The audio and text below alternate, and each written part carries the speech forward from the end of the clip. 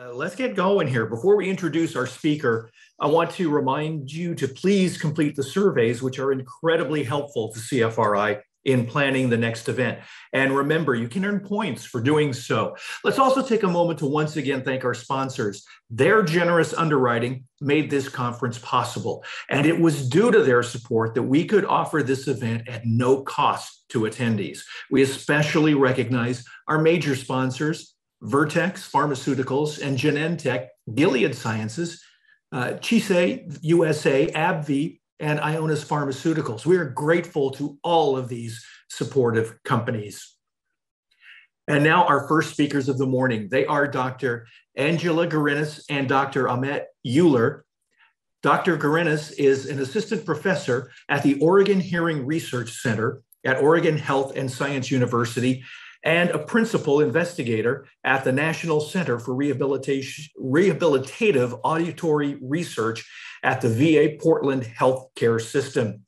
Dr. Garinis' research is focused on the ototoxicity monitoring and management of persons receiving treatments such as aminoglycosides and her current NIH NIDCD funding support investigating the effects of ototoxic aminoglycoside treatments in patients with CF and her CF Foundation Clinical Award is a multi center project to investigate the genetic susceptibility or resistance to ototoxicity in patients with CF. That's tough. That's a tough word. Dr. Ahmet Uluer is a medicine and pediatric trained pulmonologist and director of the Adult Cystic Fibrosis Program at the combined Boston Children's Hospital and Brigham and Women's Hospital Adult Cystic Fibrosis Center. He oversees a highly effective team of research coordinators and, next page, assistants to conduct corporate sponsored and investigator initiated clinical trials, along with phase two trials as national PI. His clinical and research interests involve all aspects of cystic fibrosis care, including quality improvement initiatives, translational care, and outcome research. He has been interested in complications related to acute and chronic pulmonary therapies in an aging CF population, including kidney disease and hearing loss. Together, they will present Hearing is Believing Hearing Health in Persons with Cystic Fibrosis. Wonderful. Thank you so much, Jim. And thank you, Siri. And thank you to the conference organizers for inviting us to talk about something that's near and dear to our hearts. My name is Ahmet Uluer. And I'm Angela Garinis. I also want to thank the CFRI community, Siri and Jim, for uh, inviting us to speak today. So our outline is, uh, as you can see here, we're going to first talk very briefly in, in introduction, talk about the airway microbiome, to the pathogenesis, and, and Angie is the expert here, not I, the pathogenesis of hearing loss and battery of uh, the tests that are available to us, um, our current ototoxicity monitoring. So I have a tough time with that as well, and management and future treatments, and um, and then we'll take your questions. And these are our disclosures. Um, so we've had a number of amazing talks this weekend. What a great um, lineup of speakers, and just a, um, such amazing job CFRI does um, and that we reviewed the pathogenesis of CF. But we we do understand just briefly that it is clearly a multi-drug, you know, multi-organ disease, which doesn't only cause lung disease, and although it is a major cause of morbidity and mortality, it also leads to sinus disease that we can see here, abnormal levels of sweat chloride, which is how CF is diagnosed. Pancreas involvement leading to pancreatic insufficiency requiring enzyme replacement, and also leads to CF-related diabetes with increasing frequency as people with CF age uh, GI disease in addition to the pancreatic insufficiency in the form of either meconium ileus in a newborn or DIOS or distal intestinal obstruction syndrome in adults. Um, its impact on reproductive health, including atresia of the vas deferens and infertility in men. Um, but it doesn't end there. Um, it also causes liver disease in general, leading to overt liver failure in 5 to 10% of uh, those earlier in life and requiring tr- liver transplant in some sludge and stones related to gallbladder, uh, bone disease and osteoporosis, uh, both directly due to CFTR expression in bone and its potential impact on bone microarchitecture, and indirectly due to the chronic inflammation medications like steroids. Um, we note pulmonary hypertension and right heart failure, enlarged spleen, and some presenting with uh, splenic infarcts. Um, there's an, an. Oh, there's a, you know salivary gland involvement and salivary stones. Um, there's an increased association with Arnold-Chiari uh, malformation, um, as well as uh, we recognize depression, anxiety, um, which is uh, such a critical um, uh, thing for us to recognize and treat. But also um, directly and indirectly due to adverse effects from our medications, resulting in kidney disease or renal insufficiency, um, as well as ototoxicity and the reason why we're here today. And one of the most significant culprits are antibiotics. And the reason why it is important that we know the bacteria that we're treating and to use the right treatment at the right dose. Um, here are some graphics from the registry in 2019 showing the general prevalence of bacteria by year in the top left and by age cohort in the bottom left. And then also um, on the bottom right, uh, another way of showing how these organisms uh, coexist with each other in the airway of those with CF. Um, it is also important to note that we are seeing a decreased prevalence in Pseudomonas, as you can tell by the graphic on the left. Um, and uh, while other organisms, also like MSSA and MRSA, are also decreasing in prevalence, Stenotrophomonas and Achromobacter have plateaued. Um, and the airway microbiome is, um, as many of you know, influenced by the stress of exacerbations and the use of antibiotics. Um, and so the more antibiotics used, the more resistant bacteria get. And the increasing availability, though, of these highly effective CFTR modulators that we heard so much about, and a significant drop in number of exacerbations, uh, people needing antibiotics, and a drum, you know, including a drop in people come to the hospital for exacerbations, which is of course confounded by the pandemic, is the likely, you know, reason for this observation. I mean, just two years ago, I regularly round on 10 to 15 people admitted to the hospital and more at home on home IVs. And this past year, it was at time zero, and on average, one to two patients with very few people on home IVs. However, we're still using antibiotics and they're still necessary as we deal with Pseudomonas and other gram-negative organisms and multi-drug resistant organisms that require aggressive use of ototoxic, ototoxic antibiotics. And we're still dealing with the aftermath of aggressive and you know often appropriate use of aggressive antibiotics in the recent past to preserve lung function and life from years prior to the use of modulators. Um, here is a list of antibiotics that we use to treat airway infections in CF, and it's really only a limited list, just an example, but um, we are here focusing on aminoglycosides while also touching a little bit on glycopeptides, which is another term for vancomycin, uh, that may also play a role in hearing loss. And um, hearing experts, uh, when we were doing some of our research, you know, told us that, you know, we don't know other antibiotics that might also have an impact um, and thus there are, you know, that it is important that we continue to track and monitor. Um, you know, we generally um, define ototoxicity as causing damage to the inner ear structures, including the auditory and vestibular portions. But for today's talk, we will focus mainly on auditory damage with aminoglycosides playing the most prominent role, including tobramycin, amikacin, and much less often uh, gentamicin. Um, we know that aminoglycosides can cause nephrotoxicity or kidney injury but it can also lead to an elevation of liver function tests as well as electrolyte disturbances like hyponatremia and hypokalemia. But this is something that we know about, and we have a number of protocols to monitor regularly. Identify these abnormalities as soon as possible and make the necessary adjustments while avoiding any drug drug interactions that can amplify toxicity, and that's important for us to know. However, there are other complications that can occur that can't be monitored or anticipated with blood work, and that includes neurotoxicity, and dermatologic reactions, which have to be, you know, clinically apparent to be acted on. Um, and uh, also, um, while ototoxicity is not always evident, um, you know, uh, and hearing loss is not regularly monitored during hospitalization um, and not routinely monitored outpatient either prior to or um, with the use of ototoxic agents, um, we really need to, uh, you know, make sure that we're monitoring this.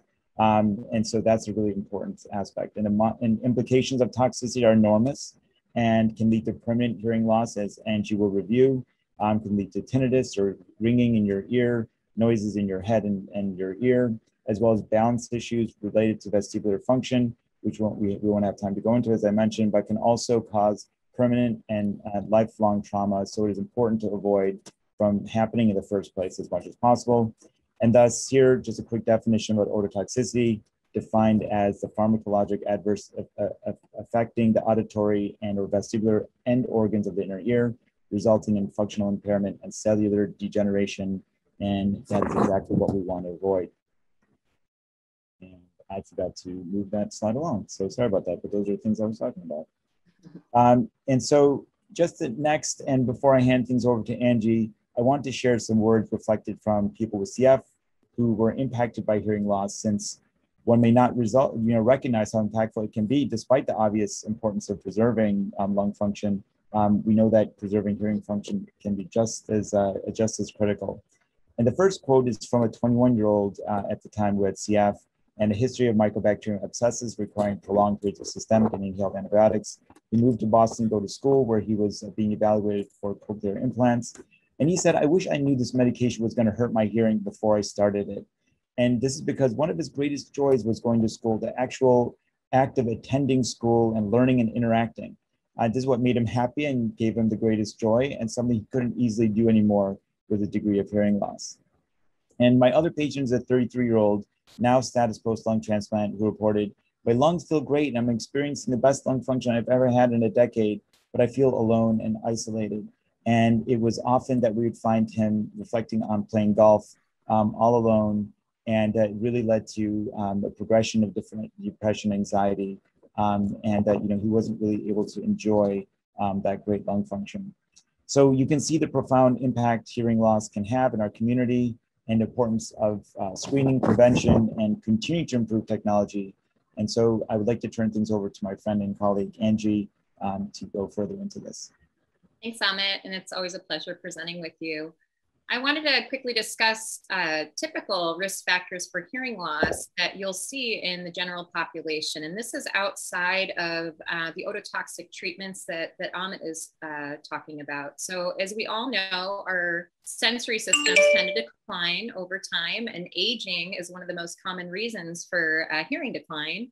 Uh, age-related hearing loss is called presbycusis, and we typically will see a higher frequency hearing loss before it progresses to lower frequencies.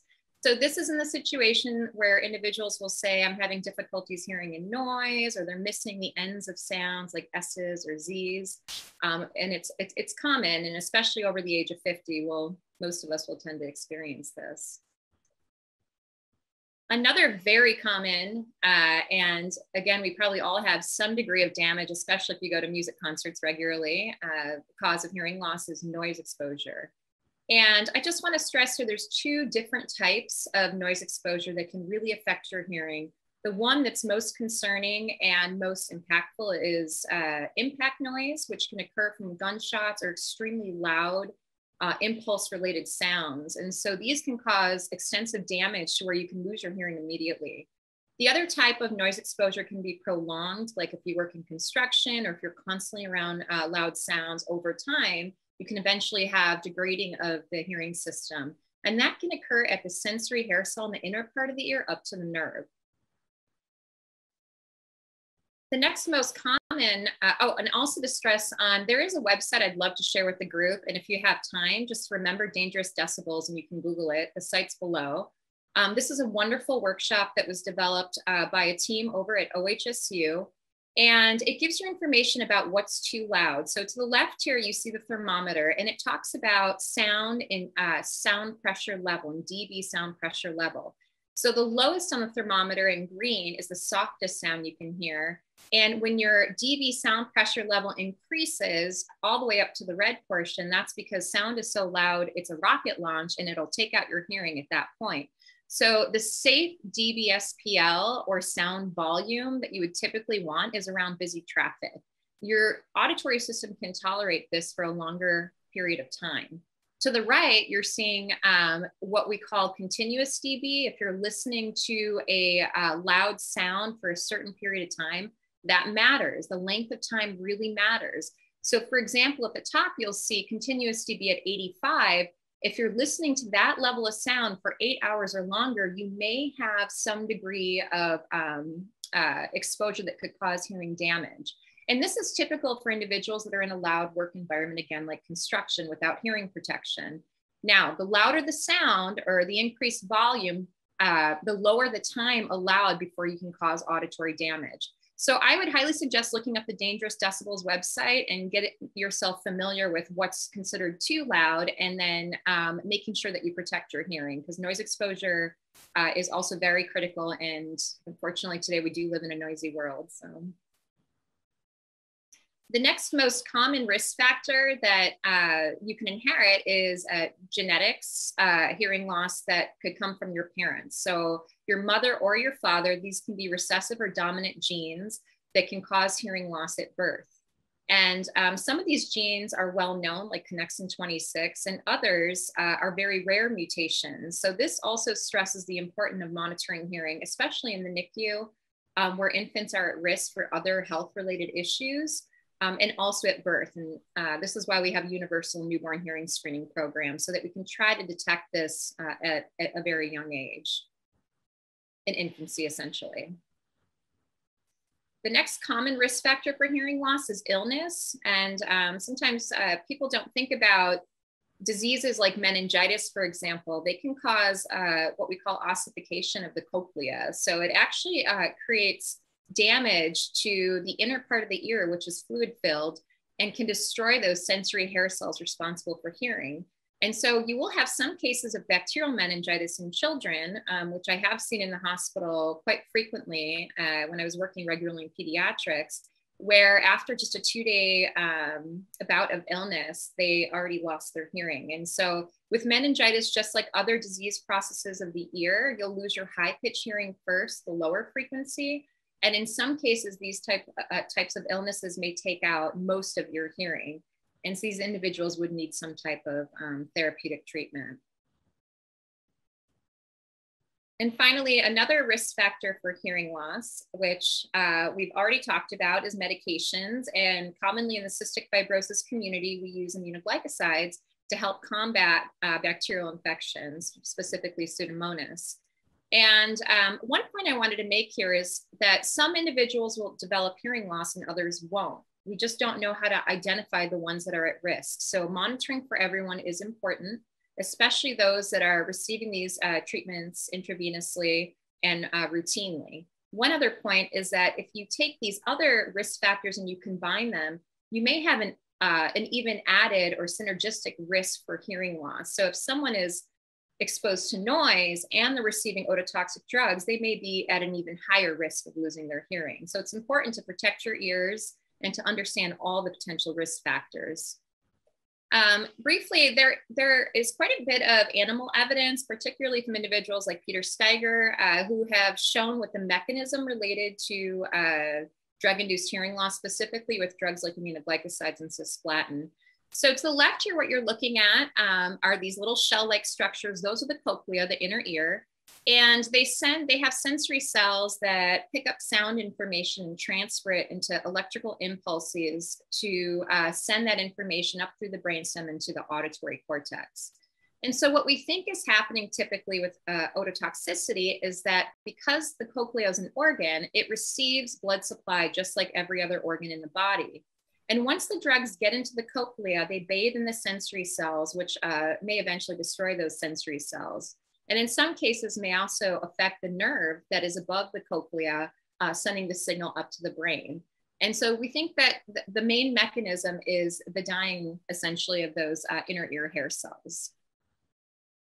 And so a lot of time pe people will ask, how do you test for ototoxicity? And the most uh, common reason is because no one really understands why and how we can get a baby or a toddler to actually respond during a hearing test. And so we have different techniques for testing all ages.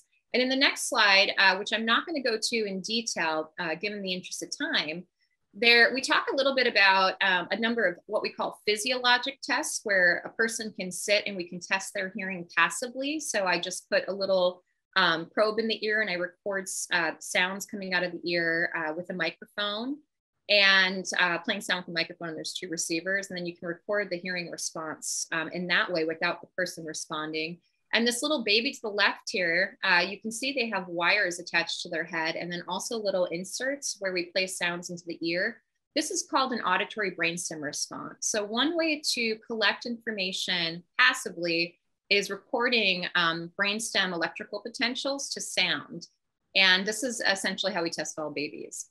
Once the, uh, the infants get older, we can train them when they hear a sound to put a toy in a bucket or play some type of an engaging game um, to where they will actually respond, but it's fun and you can keep their attention a bit longer. And that can usually start about uh, two and a half years, but right before then, if the if the child is a bit too young not to quite capture the drop in the bucket toy game, we'll actually train them to look at uh, light up videos when the sound is playing. So we're conditioning them to respond to that sound. And so the goal really is that you know we have different age appropriate techniques to test um, babies up to adults, and we can test at different pitches, which can which can capture um, you know things like ototoxicity at a very early age. And so one way that we actually record our hearing test results is through an audiogram. And an audiogram, if you look to this figure on the left, on the right, excuse me, is um, it has a dB or essentially volume on the y-axis, so vertically. And then on the x, I think of that, I always tell people to imagine a piano. And so um, the x-axis represents pitches or frequencies. And so to the very left, you have the lowest pitch at 125 up to the highest at 8,000. And the further down on the graph that you see is uh, like a different uh, symbol. So for example, the look the uh, furthest down, you'll see a lawnmower or a rocket and so forth. That means that the sound had to be extremely loud in order to hear that pitch. And so this is where we record our um, responses or thresholds to sound uh, using our behavioral tests. And the yellow banana in the middle here is what we call our speech banana. So that's our critical pitch region for uh, processing speech in the human ear. There's different ways to actually capture when ototoxicity occurs. One is to respond by testing higher pitch sounds and, and indicating the lowest volume the person can hear on this graph. Others are using grading scales to indicate um, you know, whether or not that person actually notices dysfunction with their hearing in different listening conditions. And so um, those are, there are common grading skills that we use regularly for that called the CTCAE 5, uh, V5 and others. Um, and so real quick, the, the clinical presentation of ototoxicity um, is that sometimes you might get ringing in your ears or tinnitus. And uh, most commonly, individuals will develop hearing loss, which is a called sensory neural hearing loss that is permanent and it tends to occur in the frequencies greater than um, eight kilohertz. So eight kilohertz, if, if you think back to that um, audiogram that I just showed, it sounds kind of like uh, S's and Z's. They're higher pitch consonants. Um, and uh, we know that if we test out to 16 kilohertz, we'll tend to see the, the effects of these medications early. And over time, it could progress to lower frequencies. So this could be in one ear, unilateral, or in both. Um, and we also, uh, some new evidence by uh, Lisa Hunter's group, uh, Chelsea Blankenship published a paper to show that it's not just what you record on the audiogram, it's also functionally because there are some neural deficits. Individuals may exhibit difficulties listening in noise. So trying to pick out speech and noise, even though their hearing may um, on the audiogram look normal. And so, um, and also as Ahmet said uh, earlier, there are vestibular balance issues associated with the ear, which we're not going to discuss today. So these are really the four types of major ototoxicity symptoms we look out for and we try to monitor in the audiology clinic.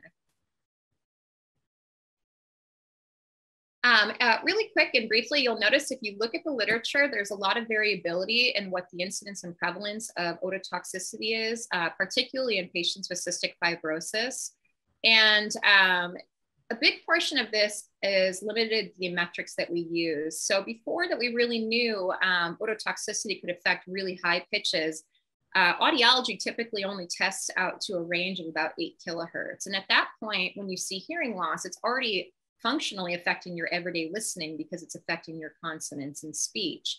And so now um, with these new metrics uh, for physiologic and behavioral testing, we can go to a much higher frequency level and detect it before it gets to those speech frequencies. So an example of these differences are, for example, Chang and Al-Malky are showing a reported incidence of 14% in the Chang study, which was done in 2009 versus Al-Malky's in 2015. And, and part of that difference is really the metrics they're using. So the moral of the story is the higher the pitch you can test, um, the more sensitive the test is to detecting ototoxicity.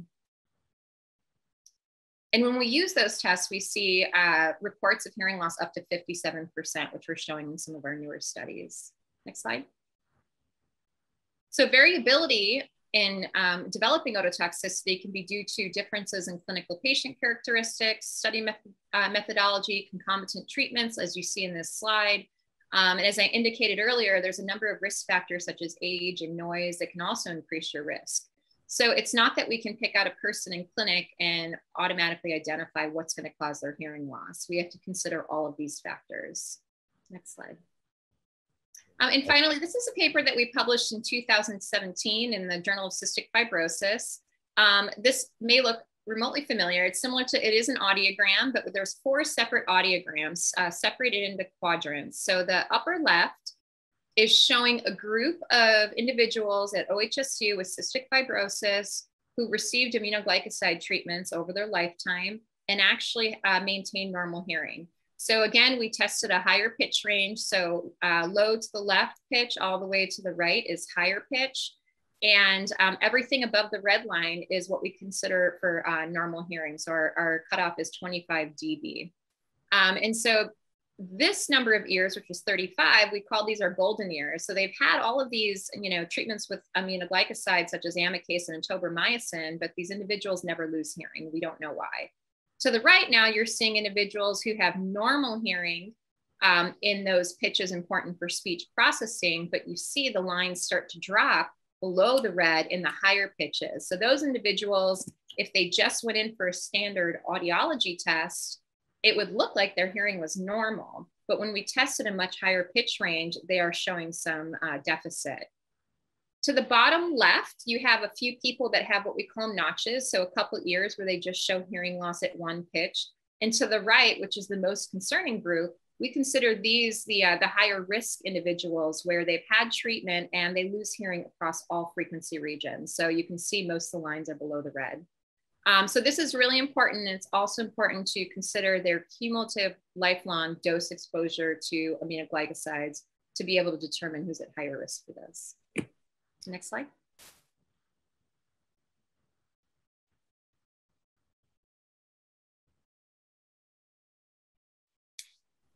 And so this is an example of an individual who we treated in the clinic, 26 years old, has had a bilateral lung transplant and a host of other um, severe health issues. She, uh, at the time, had normal hearing when she started our study. This is an example of a hearing exam in the middle of one of our research studies where her hearing was relatively normal to the left in the low pitches, and you can see this big dip.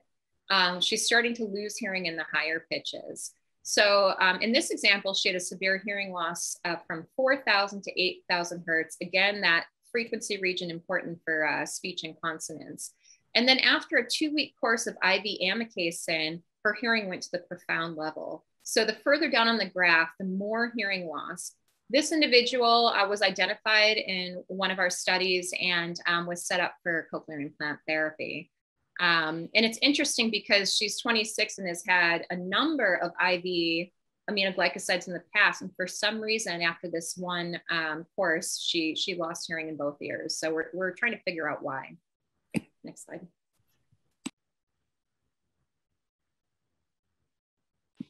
And finally, um, some individuals will ask, well, why, you know, why isn't monitoring happening regularly in uh, CF centers? And there's a lot of reasons for this. And one of the most important is that patients are already seeing a number of clinical providers, um, which is really critical for their overall health and care. And audiology is not commonly in that CF care team day. Um, the other portion is that there's a lot of barriers in the clinics themselves because audiology is primarily um, sees individuals in the outpatient clinic um, on a referral basis. So there's a lot of uh, things we can do to implement an ototoxicity monitoring program without requiring an audiologist to be part of the team, although that's ideal. Next slide. And we can move on from this slide actually. We've kind of gone over the details, so um, there are a number of guidelines for monitoring, and um, these are professional guidelines in audiology, but there are no guidelines in the cystic fibrosis community yet that are specific to CF, although I, I did hear that some may be coming out soon.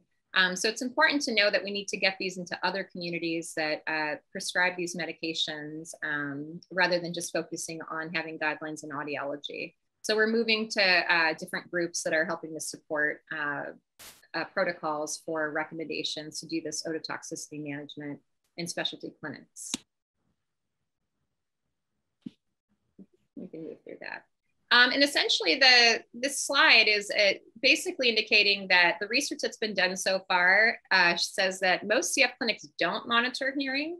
Um, and again, there's barriers related to this with, I think, the model of how audiology is run and the fact that audiologists are not typically part this, uh, these specialty clinical teams. And so individuals like me and Ahmet and others, I work with Dr. Ronald Rubenstein, we have a you know, we do have a specific interest and passion about improving ototoxicity management, especially with the more we learn in these studies. So the goal is to increase um, how we can provide a more efficient way of monitoring hearing without, you know, uh, putting too many demands on the clinic themselves and uh, on the patients.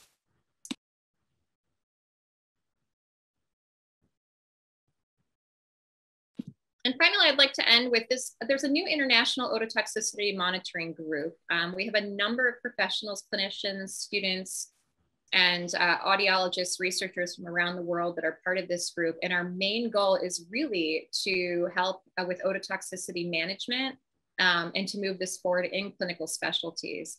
And so uh, one of the publications that we just had, I have it under review, but it was actually just accepted in the American Journal of Audiology, is specific to protocol recommendations for CF. Um, so that should be in PubMed soon, and uh, we should have that in print by the end of the summer.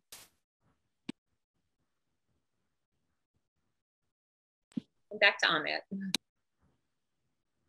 I think there's a delay when I advance, so I apologize, although I'm hopefully advancing on time, but this is a, um, it's, it's, Michael is a, a, person with CF who uh, Angie works with, and I'm not sure if you're seeing the slide or not, but he is an audiologist himself, and you know he wishes um, uh, we had presented with him before, but he wishes there is more hearing screening, more counseling regarding to ototoxicity and hearing loss, and that there was questionnaires that we had implemented in clinic um, on a regular basis, and um, there he is. Um, and uh, but what I wanted to just say is that there's so many things um, we've had these algorithms in place. The pandemic, um, you know, just uh, coordination can sometimes get in the way. Um, but you know, we're going to hopefully update this according to the um, recommendations that um, uh, with the consortium that Angie chairs that she just talked about. But essentially, starting at age four, uh, we screen our uh, patients, and if they're abnormal, they have yearly audiograms and monitoring. If they're normal, and no exposure, we repeat that every four years. If there is an exposure, we get an audiogram in six months, and then yearly if there's chronic exposure that occurs. And as you can see in the box here on the left, um, and, uh, and I just want to show that we have the same uh, algorithm, similar algorithm for those over age 18. But on the left, we include what an exposure is, and we will be, um, glycopeptides or vancomycin is actually part of that, um, but not necessarily included here slide. Um, so essentially, what I wanted to just briefly talk about is, um, you know, that in addition to screening, um, we talked about prevention being really important, including counseling our patients on hazards of unsafe listening habits, especially when uh, we had unpublished data that we're not sharing here on how, um, you know, uh, people with uh, um, noise as a and like their listening habits as a um, as something that adds to that complexity. As Angie mentioned, uh, there can be additional and synergistic, uh, you know, hearing loss that can be um, associated with that. But also years ago, um, I want to touch on the fact that tobramycin used to be dosed three times a day. And um, based on um, uh, new efficacy and safety data published by Alan Smith and others, um, you know, we showed that there was improvement in kidney injury and, uh, you know, with once daily dosing. They did testing, limited testing for hearing loss, although that data is unclear given how limited the, uh, the study was. But essentially, our monitoring at that time was involved. Uh, you know, it, monitoring has been and still is in many you know institutions checking peaks and troughs 30 minutes after the end of a 30-minute infusion. Um, though there's lots of errors that I'm going to talk to you about um, uh, as we monitor based on that. And though uh, we had parameters for safe area under the curve, um, an area of the curve essentially is a measure of total systemic exposure to a drug. Um, you can't actually calculate that based on um, the type of monitoring uh, that was suggested here. So essentially, um, what I want to talk about is um, uh, we realized that troughs don't necessarily correlate with safe AUC measures we talked about. We needed to come up with a different methodology. Um, and it was also, you know, challenging to get accurate peak levels, which is crucial to effective treatment and, and minimizing that toxicity.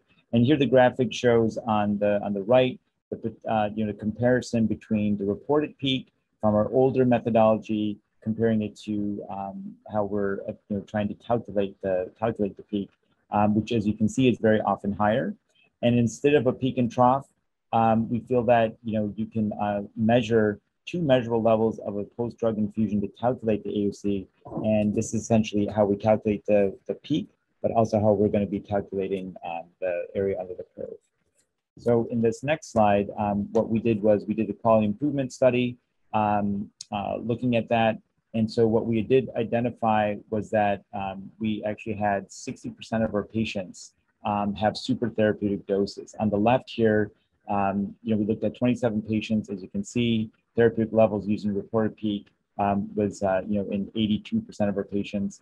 Um, calculated peak, you know, showed that dropped to 74. But if we looked at AUC, the actual gold standard of looking at that, we saw that the 60% were over. And on the table to the right, um, we saw that 16 of the 27 patients who were super therapeutic actually seen here. And I just wanted to highlight two patients. So only two patients would have been identified as being on super therapeutic uh, level, um, you know, dosing um, using our old methodology. So since we switched to the AUC monitoring, now we feel confident that we're not um, overdosing these patients. And many of these patients, um, as you can see, were, were not caught. Um, and now we know that you know 50% of centers out there still use this old methodology. Um, and that may have changed since the last time I checked, but it's important to make sure that we're doing, um, doing that, that, that appropriate care. so before I hand uh, the presentation back to Angie, I just want to talk about a yet unpublished uh, study that we performed um, with our sponsor, um, uh, Decibel Therapeutics uh, here in Boston. Um, it was a study looking at the use of point of care device uh, devices.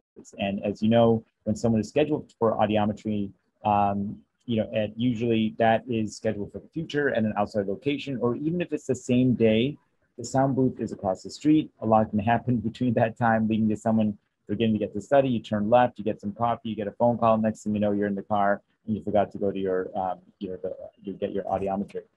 So we used point of care technology and recruited 72 people using the Clear automated hearing test and using the state of the art headphones that we are always afraid we are going to lose. They're about $100,000. Um, as you can see, they're very stylish. Um, and we use a tablet to uh, measure a broad range of testing, which uh, Angie will also just touch on in a moment. But essentially, we first looked at a cross section of people at our center and saw that there was a 41% evidence of hearing loss, which goes with the data that Angie um, recently shared. And then, as you can see, our traditional um, testing, um, you know, which goes up to eight kilohertz. In this point of care device, we were able to go to 16 kilohertz. Um, and this is, uh, you know, something that, you know, that's why we, we see this higher prevalence. And we also looked at a subgroup of patients who were essentially um, being serially monitored while they were on IV antibiotics. And we looked at both aminoglycosides and glycopeptides like vancomycin.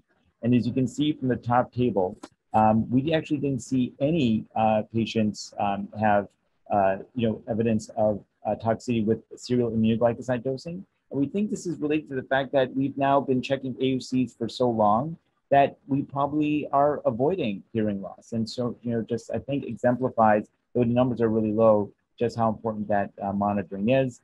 And but as you can see here with vancomycin, we saw increased, um, you know, uh, hearing loss um, uh, thresholds being achieved, and essentially um, now we've switched to also checking AUCs for vancomycin, um, and uh, and and that way we're hopefully avoiding that as well. And we saw the same problems with vancomycin that we saw with um, with tobramycin. And there's also so much more to learn. This study is very small, and uh, we need a larger study but we also saw hearing loss in uh, using other antibiotics. That's what it's uh, that no IVs essentially no IV ototoxic medications, and I'll fix that. Um, but essentially, we didn't see um, much with that group. Yeah, thanks, Ahmet. And so one other uh, thing I wanted to stress really quick towards the end of this talk uh, is so Ahmet was talking a bit. We know that the intravenous treatments can uh, be a little bit more toxic because you're getting a larger dose. However, most patients are on inhaled treatments, and we don't have a lot of information about how the inhaled may cause hearing loss. And so, when we talk about monitoring, again, I'm, I'm, I stress everybody should be monitored because most are uninhaled, even if they haven't had an IV case center uh, TOBI before. So um, one of the approaches we have, and this is in the paper, in the American Journal of Audiology paper that we just published from the IOMG group, one of the approaches we have is point of care and bedside testing, as Ahmet described. So there's ways to make this more efficient to take the demands off of the clinic. So for hearing screening, we could use a tablet while the patient is in the hospital at their bedside and have them actually test themselves. So an example is the upper right, where you see the patient that has headphones and they're holding and they're going through all the instructions of the hearing test. And there have been validated measures to show that some of these tests are, as long as the, low, the level of the noise is low, they're not um, far off compared to what we would get in actual soundproof booth. Also, um, other tests, there are physiologic tests like otoacoustic emissions, and there's surveys that we could use to try to detect if there's ringing in the ears, tinnitus, um, and there's bedside tests for balance. So I, again, I would encourage to look back at this paper when it's out. Um, so we're providing some examples of how to, to do management in a way that's efficient and again, um, that can kind of detect each of these ototoxicity symptoms. The next and final slide talks about management of ototoxicity. And as we know, even in audiology, if ototoxicity wasn't an issue, an individual that has hearing loss may go into a clinic and uh, look for amplification. And so, um, whether the cause is age related hearing loss, ototoxicity, noise, or so forth, when you lose your hearing and it's permanent, um, amplification is our best option. So we do, uh, we can use hearing aids or the cochlear implant surgical devices there if the hearing is severe enough. And, um, you know, if, if there are concerns about balance or tinnitus, there's ways to do therapeutic approaches for that to also improve. So I would suggest talking to your physician if you have concerns and also um, talking to your local audiology clinic. And finally, I think Ahmet's going to just briefly uh, mention a couple of clinical trials there for ototherapeutics. Um, I think you're talking about these, but um, I don't know if you want to touch on them. But I, I, either way, I'm I, am i am happy to. So we're, we're right at the end. So there are uh, what's really interesting now is there's a number of companies that have developed otothera- uh, ototherapeutic treatments, and they're in their uh, phase two clinical trials. So typically, these are uh, medications or a pill you may take while you're on an ototoxic drug like uh, tobramycin. And the goal of these is to prevent hearing loss during the treatment. And so there's two main companies, Oricula Therapeutics and Sound Pharmaceuticals, that is working towards um, moving their ototherapeutic through the FDA. And at some point it would be great because then we wouldn't have to worry about ototoxicity if we could find the right treatment. So.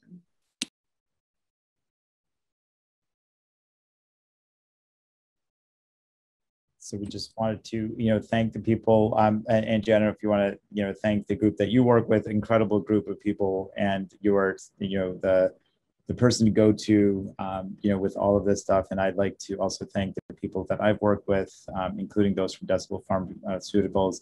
Um, there is so much to go through. We took uh, our presentation previously from what was almost an hour and 45 minutes to 45 minutes. So hopefully we were able to successfully get through it all and we'll hopefully be answering all your questions here and later. Mm-hmm.